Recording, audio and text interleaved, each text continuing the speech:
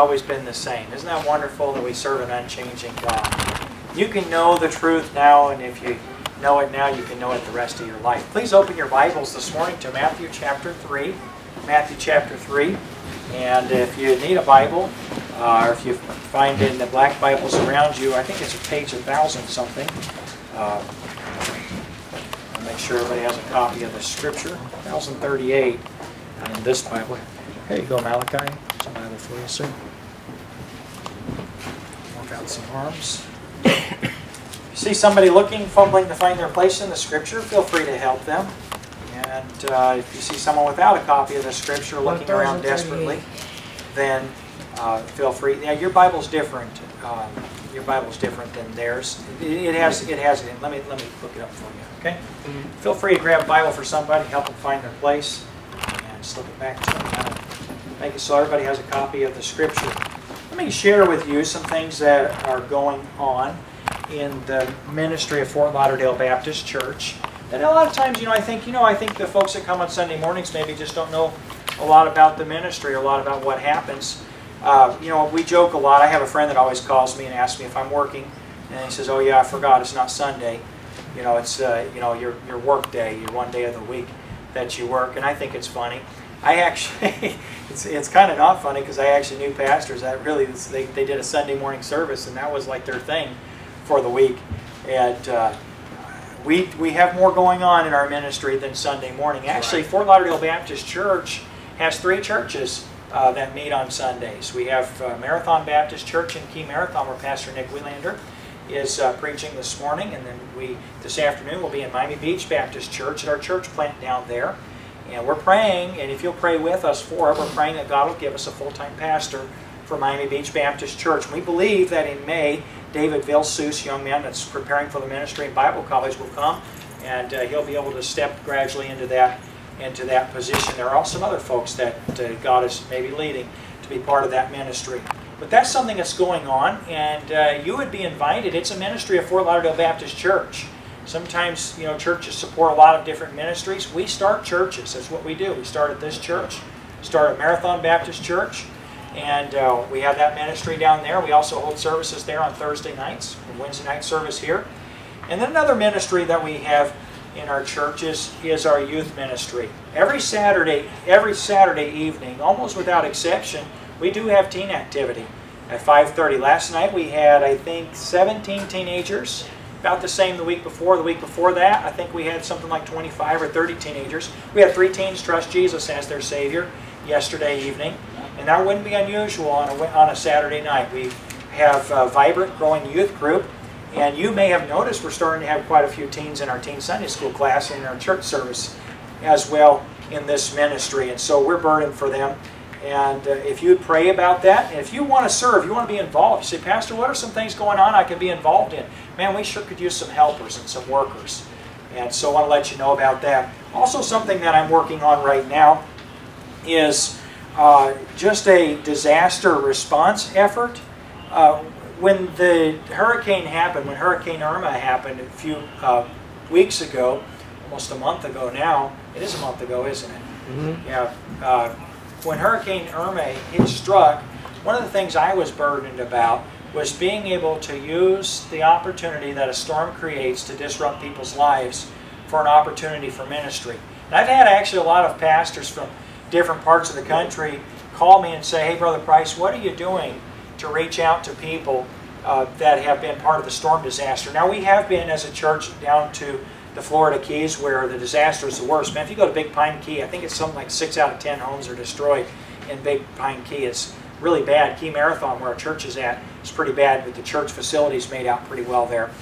We have really been praying and looking for a way that we could do ministry as an opportunity from the storm. So we, uh, some ministries sent in truckloads of food, like 353 foot uh, semi box truckloads of food, and uh, different groups have come in and given a lot of that out. But one of the things we found when we were distributing the food was that while it was appreciated, it was not greatly needed.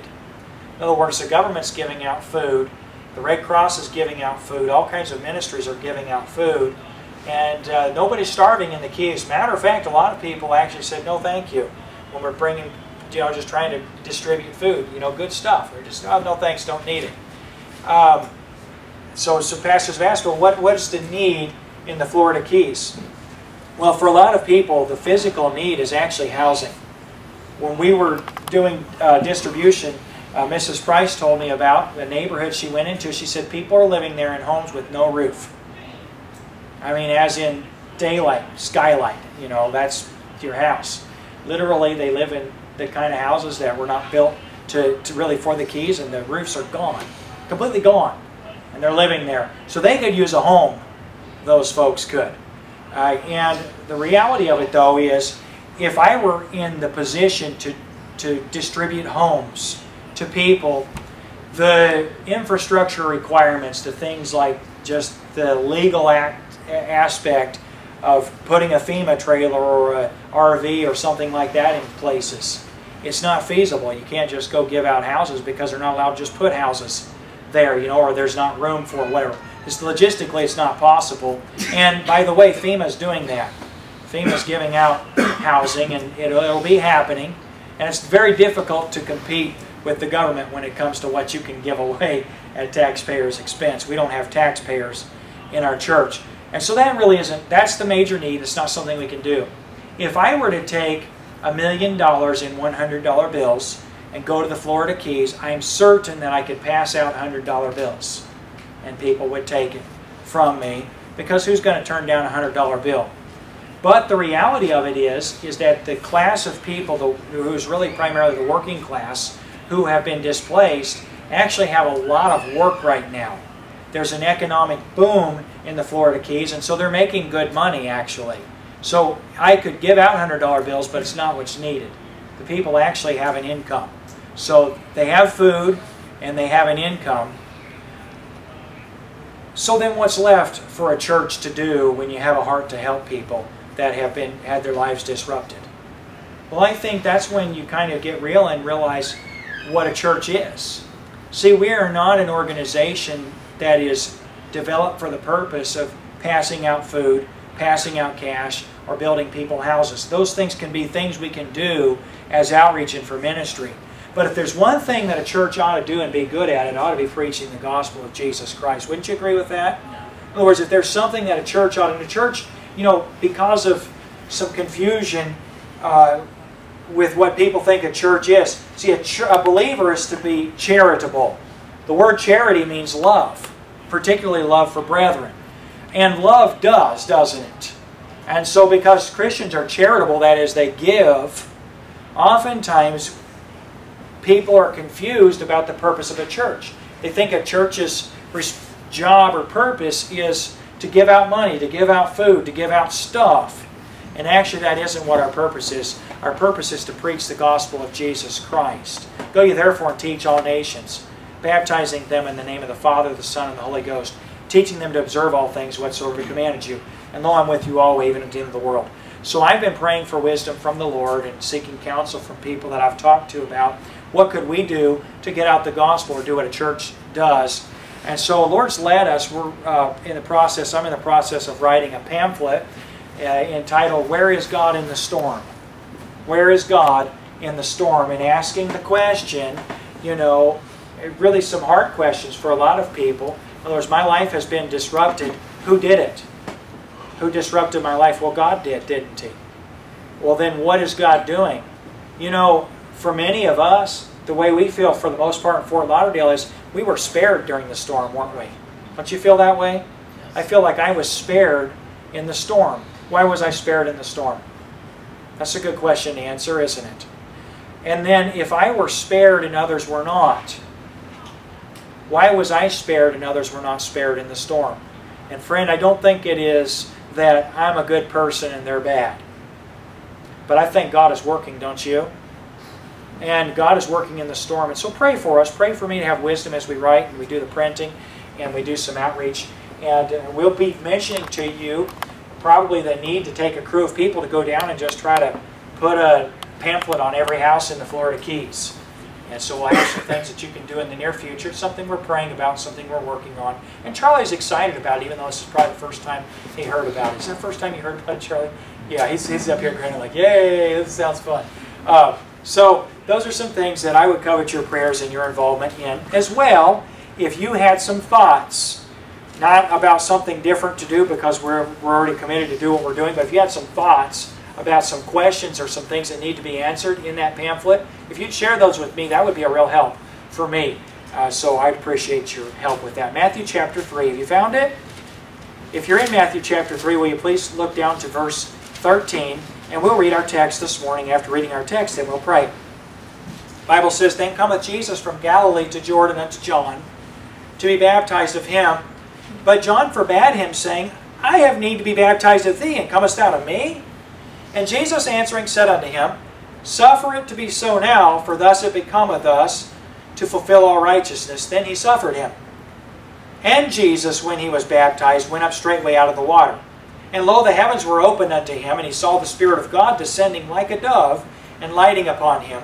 And lo, a voice from heaven saying, This is my beloved Son, in whom I am well pleased. Look down to verse 1 of chapter 4. Then was Jesus led up of the Spirit into the wilderness to be tempted of the devil. And when he had fasted forty days and forty nights, he was afterward in hunger. And when the tempter came to him and said, If thou be the Son of God, command that these stones be made bread. But he answered and said, It is written, Man shall not live by bread alone, but by every word that proceedeth out of the mouth of God.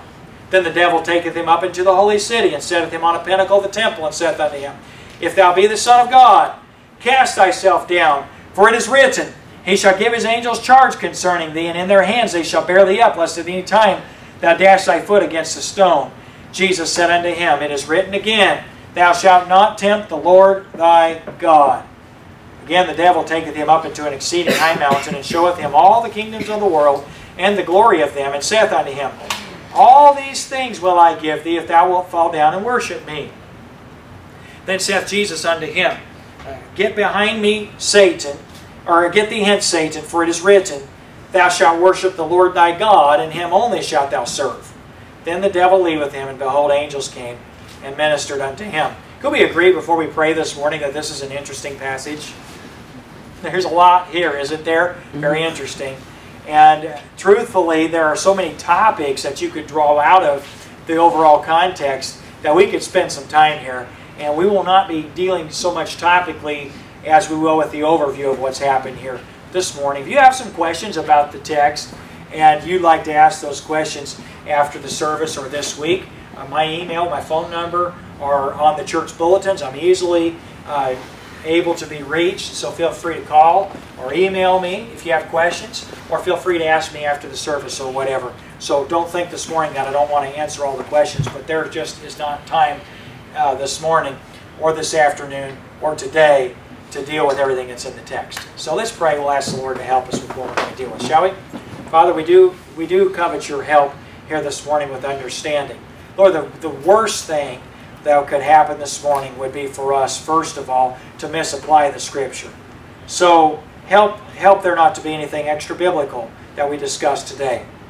Then, God, I just ask that you would help us to go from intellectual to literally personal and heart's application for the Scripture. Help us not to just know things in our head, but help us to know them in our hearts and for it to affect us and change us to be more like Jesus as a result. We do ask this in Christ's name. Amen. Amen. So, we've been looking at the last several weeks, we looked at the ministry of John the Baptist. Uh, we have been in Matthew chapter 3, actually, a pr pretty good amount of time, and looking at some important doctrinal truths. Today, though, we're going to look at what John chapter, or Matthew, I keep saying John, what Matthew chapter 3 leads us up to, and that is that Jesus came to John the Baptist to be baptized of him.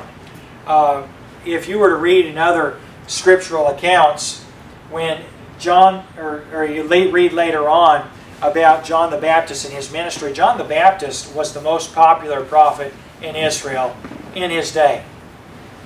Uh, that's not understated. or that's not overstated, it's understated. The reality of it is, is that literally multitudes went out in the wilderness to hear John the Baptist's message. And John the Baptist's message was repent, for the day of Christ is at hand. That's it, that was his message. It was a message about Jesus. And then, secondarily, when the Pharisees and Sadducees came out to John the Baptist to be baptized of him. His message was, O generation of vipers, who hath warned you to flee from the wrath to come? And then he said, I indeed baptize you with water, but the one is going to come, Christ is going to come, and he's going to baptize with fire.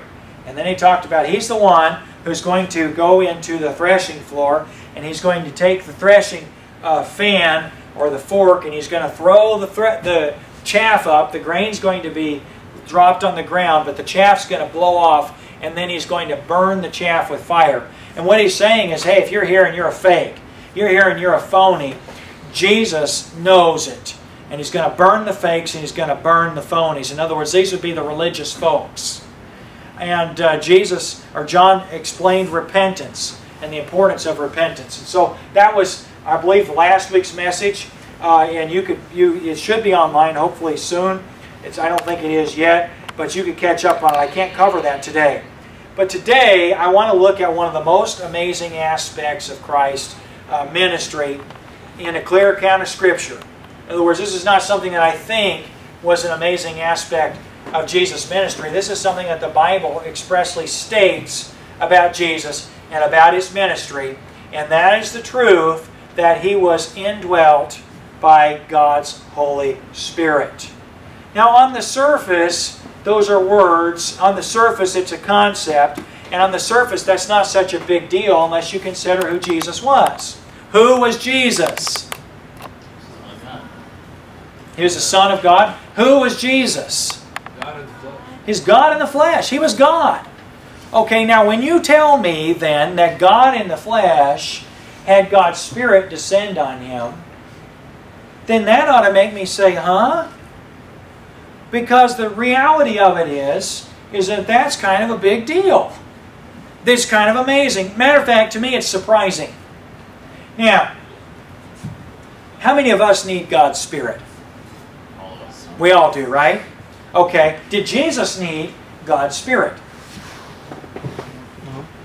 See, that's a trick question, isn't it? You're like, uh, Pastor, I don't know. Okay. Did Jesus need God's Spirit for himself? Who is Jesus? Yeah. Jesus is God, right? Uh, I love John chapter 3 and verse 13. If you want an interesting personal study, and by the way, one of the reasons that we would use the copy of the scripture that we do is because of the way John 3.13 is accurately rendered, where the scripture actually teaches about Jesus. No man hath ascended into heaven, but the Son of Man, uh, which has come down from heaven. Let me, let me read it to you because I'm about to misquote it. And you don't need to turn there. Uh, unless you just don't believe me if, that I'm going to read it accurately, then you could turn there. No man hath ascended up to heaven, but he that came down from heaven, even the Son of Man, notice this, which is in heaven. So Jesus is on earth talking to Nicodemus, and on earth speaking face to face, just like I would be with Tilly here. So uh, Jesus is speaking face to face with Nicodemus in face to face, he said, No man's been to heaven, but the Son of Man, he's talking about himself, the Son of Man, which has come down from heaven. So nobody's ever been to heaven. You've never met somebody that's been to heaven. I am fed up with the nonsense about people claiming that they had an out-of-body experience, went to heaven, talked to Jesus, and all this nonsense. It's a lie. Jesus said no man's been to heaven. Okay, and that's true. There's no person on this earth who's been to heaven. Now, they may have had too much pizza and ice cream in combination, or they may have got knocked out of their mind and had a wacky dream and thought that they saw something, but Jesus said, nobody's been to heaven. And I believe Jesus. A couple of years ago, you remember the story about Colton Burpo, the kid that, uh, little boy that supposedly died, went to heaven. And he told all this nonsense. It was all made up. And I believe it was exposed as all made up. But a lot of Christians were just like, oh, well, you got to read this, you know, about what he said about heaven, and, you know, and major doctrinal studies done. It was, the kid didn't go to heaven. Jesus said so. You got it? Okay. All right, didn't use Granger's logo. Get it, got it, good. Tried hard not to, okay? Um, Okay, you got it. G Colton Burpo didn't go to heaven. Jesus said no man's been to heaven. But then he said, but the Son of Man, which is in heaven. Where am I at? Right here. Okay, if I were Jesus, if, if I'm me and I say, no one's in heaven except for me, I'm in heaven, you'd be like,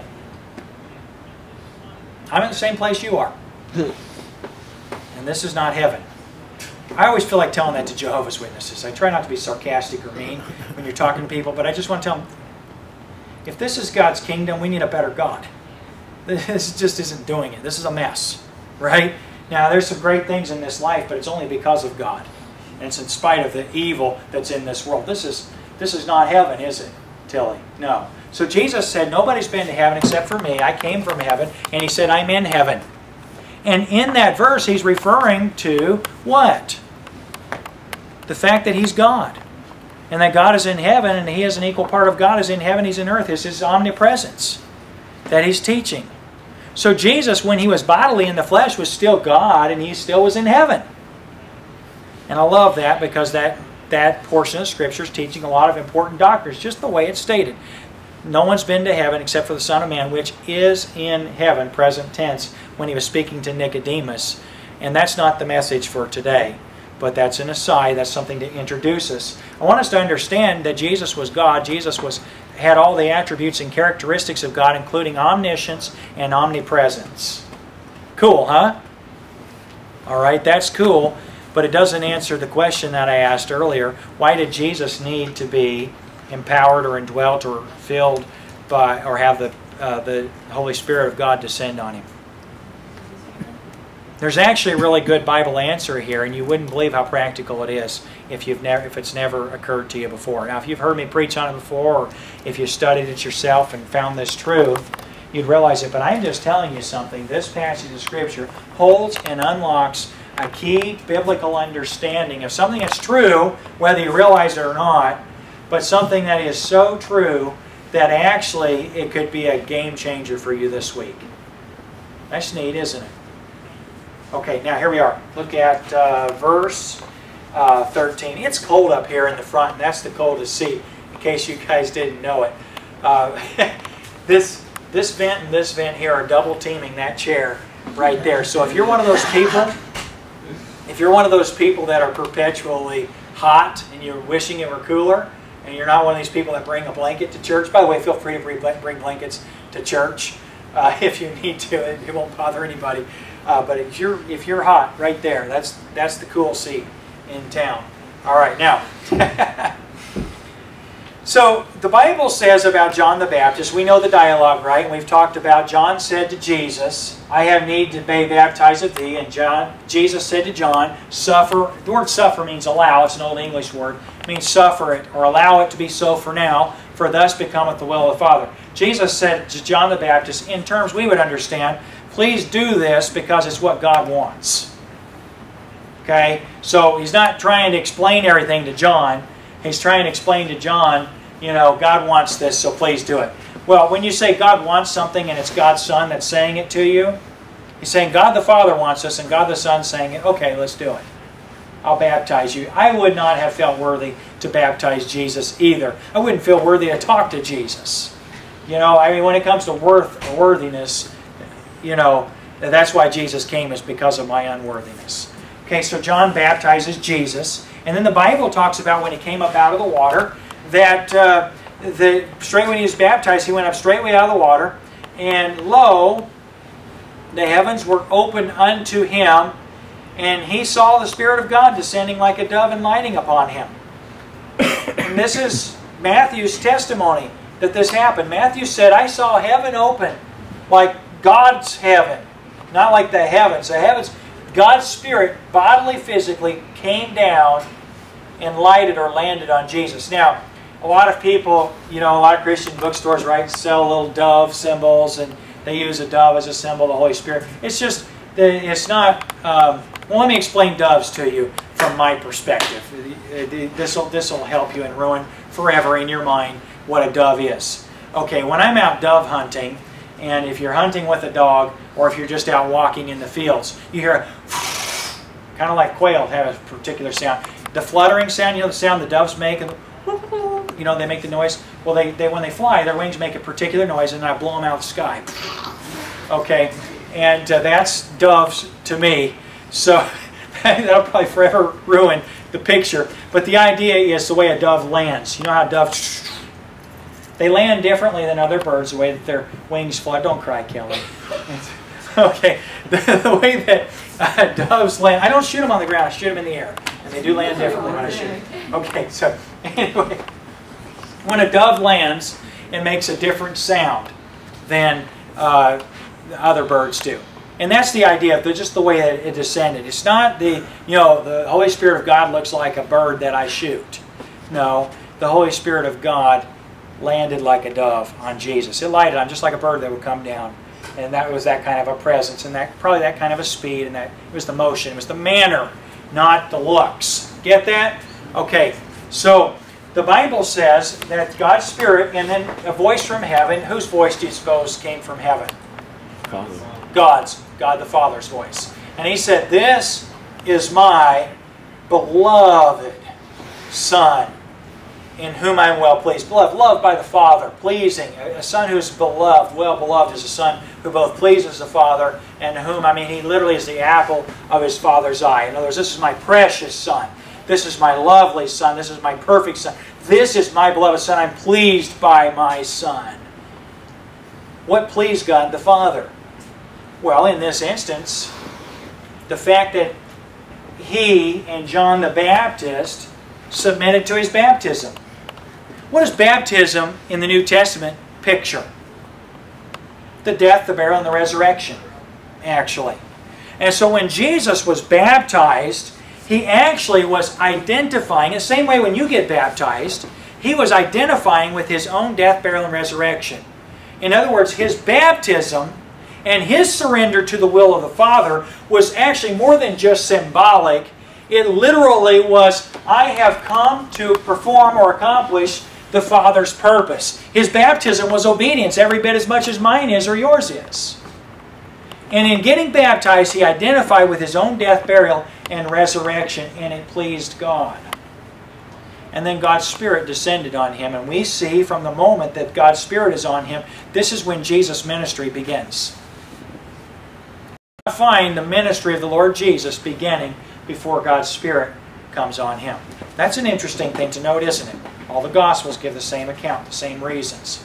We know that Jesus, when we were, remember a few, uh, a couple of months ago, we were in our series on uh, the, the work of the Holy Spirit, and we talked about two statements that Jesus made about the ministry of the Spirit that seemed like things we wouldn't agree with. Remember when he said, Greater things than these shall ye do? Other words, the works that I do, he said, greater things than these shall ye do because I go unto my Father. And I think I wouldn't agree with that except Jesus said it. And then when I examine it carefully, I know it's so. How can we do greater things than Jesus? Well, because of the work of the gospel, preaching the gospel. And uh, greater in God's mind than supernatural miracles is for the gospel to be preached and for people to turn to Jesus. That's the work of the Holy Spirit. Uh, we looked at some other things about God's Spirit, some notable truths about God's Holy Spirit. The other thing that we said was, was unique about the ministry of God's Spirit was that Jesus said, It is expedient for you that I go away. And we would think if Jesus were bodily present with us, if He said, It's better for you that I'm not here, we'd say, No, Jesus, it's better for me that you are here. Right? But He said, If I go not away, the Comforter, the Holy Ghost, will not come unto you. So literally, Jesus said having the ministry of the Holy Spirit, God's Spirit, is better than my own ministry. Now, I want to make, I, I, honestly, the message this morning, I'm getting into it, it's not that long. But the point of John chapter 3, verses 13 through John chapter 4 in the account of Jesus going into the wilderness in his ministry, beginning in the, the temptation of Christ in the wilderness. The point of it, my friend, is that when Jesus worked on this earth, when he did his ministry, he did not minister without the power of God's Spirit first. And secondly, everything Jesus did in his ministry can be followed by us. We literally are physically able to follow his model or his example because we can have the same power that he had. This is an important truth, and you know what, just the way I stated it almost seems like, man, you've got to say it better than that because it's such a big deal. It is a big deal that you and I can follow the example of Jesus Christ, isn't it? Mm-hmm. I'm just telling you, in my flesh, with my ability, for me to be like Jesus, I, I don't mind. I, I miss the WWJD bracelets. How many of you guys are old enough? The WWJD bracelets. And I know that supposedly the Mormons made a lot of money off of those things, but the concept behind them I've never been in disagreement with. Have you?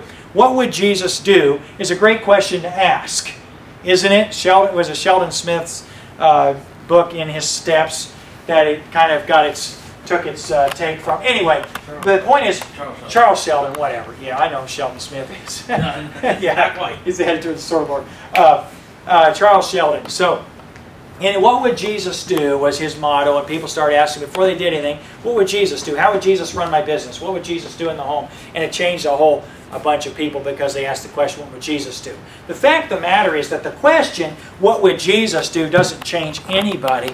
It's the power of the Spirit in the life of, of a believer that changes people. It's actually the truth. Now, I'm not, I'm not bashing the WWJD bracelets. Like I said, I kind of miss them. You know, I was like, everybody had one. They didn't know who Jesus was, and they're wearing a WWJD bracelet because they were cooler than ZO2s in the day. Now, my point would be that if you missed that, don't worry, you didn't miss anything.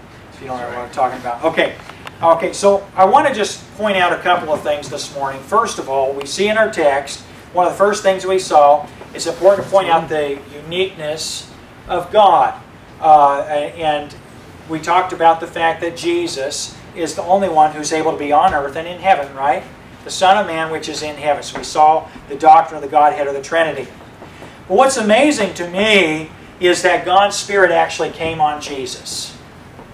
Because I personally, I asked the question, why did Jesus need God's Spirit? Well, truthfully, himself, he didn't need God's Spirit. If you read about who Jesus is and his power as God, you'll realize that Jesus is not limited in physical power. When Jesus was on the cross, he expressly stated, he said, I lay my life down. No man taketh it from me. You are not killing me on the cross. I'm allowing myself to be a sacrifice on the cross. In other words, Jesus did not resist. He literally could have called uh, 10,000 angels. It's not just a great song. He literally could have called a legion from heaven and they would have absolutely destroyed anybody around. One angel could have done the job, the task actually, that Jesus needed done. So Jesus' life was not taken from him. He was not a helpless Savior. He was a willing Savior, and there's a big difference, isn't it? Isn't it true? So Jesus had all the power in him as God. When you read in Proverbs, who hath made the winds? Who hath, uh, to, uh, uh, uh, let's see, put bound the waters in a garment? And the scripture says, what is his name and what is his son's name if thou canst tell? You read in, in Genesis, the Bible says in the beginning, Elohim, that is God's singular plural. God, one God, plural, in person. Elohim, Im means plural. So God the Father, God the Son, God the Holy Spirit created the heaven and the earth. And Jesus, as we study the Bible and we look at the creation, He was actually the part of the Godhead who spoke the world into existence. Jesus, my friend, is not a weakling. He is not someone who needs a defender or needs a leader or needs a helper. Do you understand that? In other words, God's Spirit did not descend on Jesus because he was lost in the world. He came to the world in obedience to the will of his Father. But my friend, Jesus was not needy himself. But here we see in the Scripture that Jesus needed to have the power of the Holy Spirit because he laid down his power as God to become a man. In other words, it wasn't that he couldn't take the power back up. It wasn't that he was any less God. It wasn't that he was no longer omnipresent. It was because Jesus literally, willingly, willfully limited himself to just be a man. To just be limited like a man. And in so doing, Jesus modeled the example of being able to live in flesh without sin. That's pretty big, isn't it? You know, a lot of Christians want to get themselves a list. They want to find out what the Bible says is good and what the Bible says is bad. And they want to stop doing the bad stuff and start doing the good stuff. Try it sometime. One, you'll never be able to get enough paper to make your list. Two, you'll find out that you just can't. You just can't. You're just not good enough. You live in a body of sin, a body of flesh. Hey, listen, you're eternal. Your body's not. Your body is flesh. And my friend, I just tell you, you ain't enough to whoop yourself into shape without God's help. And so here Jesus is laying down his authority as God. Could Jesus stand up to the devil? Read Revelation sometime. He is going to speak the destruction of the wicked, and Jesus literally is just going to say, tie him up. With the words of his mouth, Jesus is more powerful than the Satan. And so the temptation where Jesus is led into the wilderness is not because he personally is weak, it is because he has laid aside his power as God to please the Father. And in so doing, now herein he models the Spirit-filled life, what it means to be filled with God's Holy Spirit. Now let me ask you a question. If it was important for Jesus to have God's Spirit, how important is it for us? Could we say equally? In other words, if God the Son needed the ministry of God the Holy Spirit to carry out his earthly ministry, to fulfill the will of God the Father, if God the Son needed that, how much do I need the same? A lot? As much? More? Words fail us, don't they? To describe how much I need God's Spirit's power in my life. Don't they? I mean, I just can't exaggerate it enough. I can't say, if God, then I, because we're so different. So then we see the account of God's Son being led after his baptism. Immediately, the Bible says in chapter 4 and verse 1, then was Jesus led up of the Spirit into the wilderness to be tempted of the devil. And when he had fasted 40 days and 40 nights, he was afterward in hunger. You have probably never been to the point of weakness that Jesus was after fasting for 40 days. Let me just ask the question, has anyone ever here, this is not to glorify man or anything, I'm just curious. Has anyone here ever fasted for 40 days? Okay, what's the longest that somebody here has fasted? I've gone like maybe four weeks without eating before. How? What's the longest somebody here has fasted? Anybody done a month? Done a full month of fasting before? Like a week. A week? You've gone a week without eating before? It gets easy after like the third mm-hmm. day. A week's not too bad, is it? Two days. Two mm-hmm. days? You've gone two days without eating? The hardest day is the first day, isn't it, for fasting for most people? Toughest day is the, the first day. There are stages in fasting, and I don't want to have a series on fasting here this morning or talk about it or glorify any man's flesh. Anybody can stop eating and it's not, you know, there's nothing really complicated about it. Actually, some things are kind of dangerous about it if you uh, don't know what you're doing and if you're doing it for the wrong reasons or what. It, could be very, very deadly. Just okay. drink. Matter of fact, most people die when they don't eat. Just drink water. Okay. Yeah, just drinking nothing but water. Okay, so we're talking about it. But Jesus fasted for 40 days. Could we say then that because none of us here have fasted for 40 days and Jesus had, that Jesus actually physically was at a point of weakness that we've never reached? That's the point, isn't it? Of the past scripture is isn't, you know, 40, there's nothing magical about 40 days of fasting. Okay, you're down, don't get up again, mister. Got it? Thank you. All right. Uh, for 40 days, Jesus fasted. And the point isn't that there's something about 40 days. The point is Jesus was at a place of bodily, physical weakness, wasn't he? It's tough. Hard thing that he did.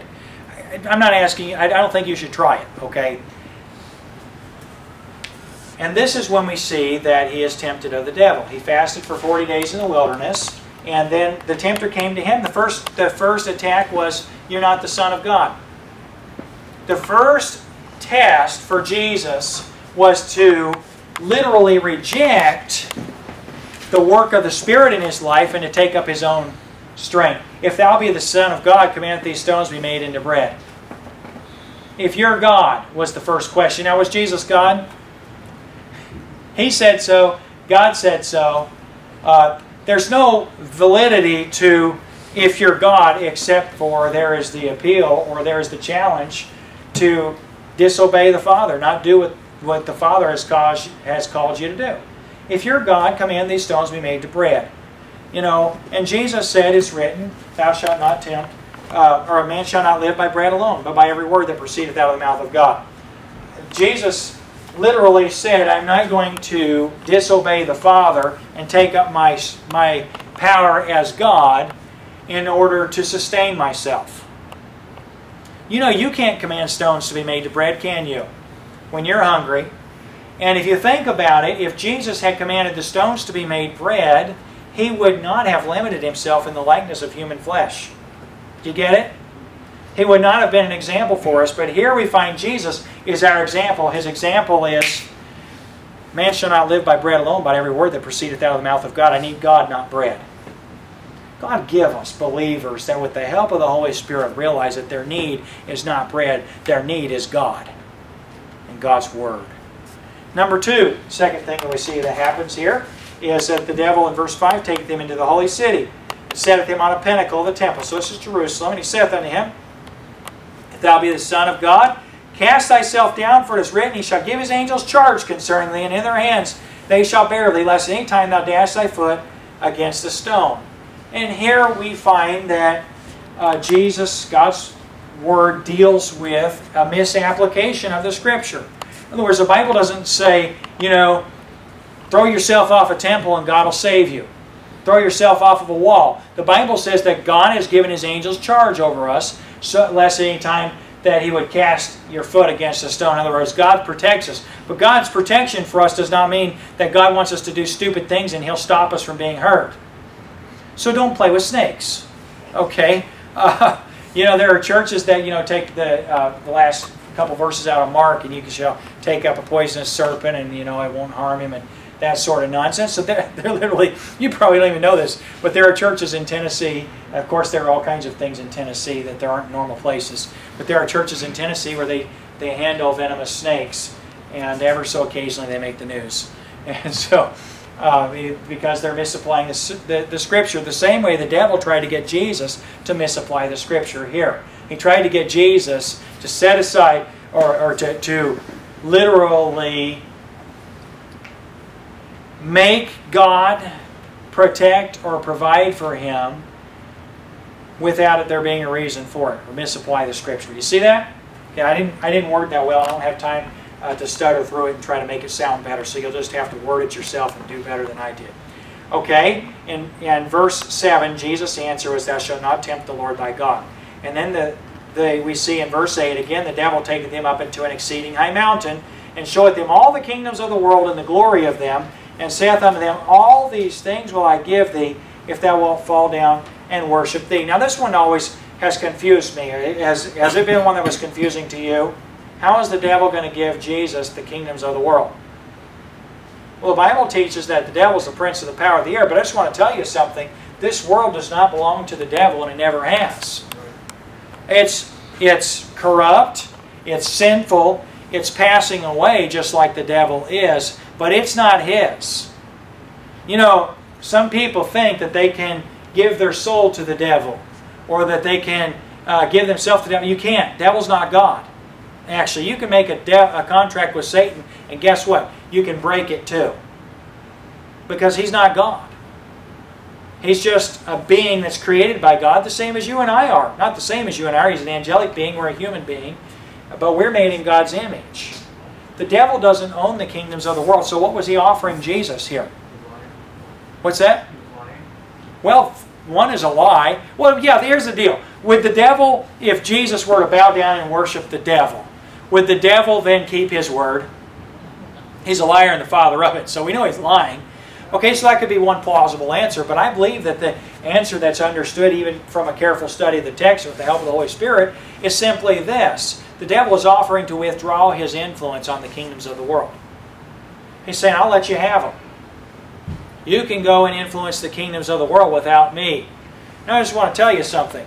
First of all, the world's wicked without the devil. the world's wicked without the devil. Do you realize that?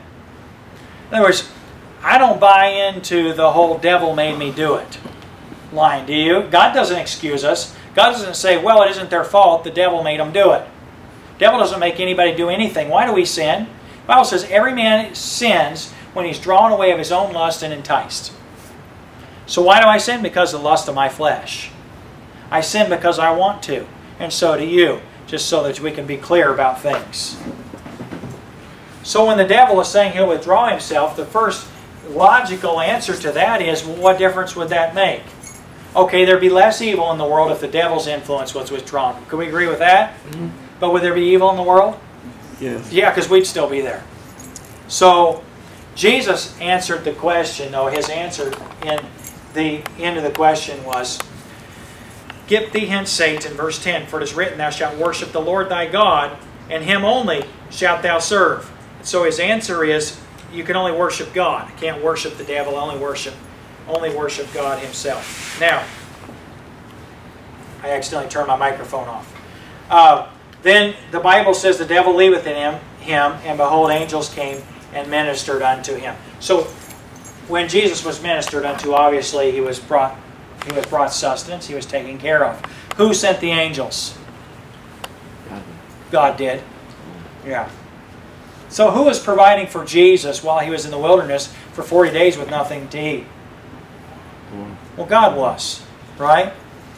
And here, guys, I just want to get as simple and as practical as I possibly can from this passage of Scripture. The reason Jesus was led into the wilderness by the Holy Ghost, the reason Jesus was taken to that place was to go through something that men have to go through, and that was God's will. Why was Jesus then, why was he empowered, why was he indwelt by the Spirit of God when he was God himself? Well, the simple answer is he laid aside his power as God. But the second part of the answer is what Jesus said when he said, I came not to destroy the law, but to fulfill it. In other words, he was being an example for us on how to live. How aware of the ministry of God's Spirit do you suppose Jesus was? while he walked on this earth and dwelt by the Spirit. Do you remember when Jesus had done miracles and he cast out devils and they said, he, he's, he's got the devil in him. He's using the, the power of Beelzebub. Remember that? You remember Jesus' response? He's casting out devils in the name of the devil. He said, you know what, every any sin you sin can be forgiven, but a blaspheming the Holy Spirit of God. In other words, Jesus said, I didn't cast out the devil with my power. I cast out the devils by the power of the Holy Spirit. How aware was Jesus of the work of the Holy Spirit, of the ministry of the Holy Spirit in him? I would say it was it would have been the very height of awareness. And then Christian, if Jesus was filled with the Holy Spirit, for example, how in tune, how aware of the ministry and the work of the Holy Spirit of God ought you and I be then?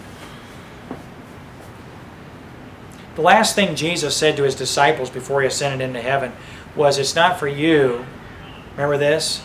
To know the seasons or the, the times which the Father hath placed in his power. But ye shall receive power after that the Holy Ghost has come upon you. Christians, I fear that there's too little of an awareness, not only of the example of Christ, but there's too little of an awareness on a personal level of God's Spirit, the ministry of God's Spirit in our lives.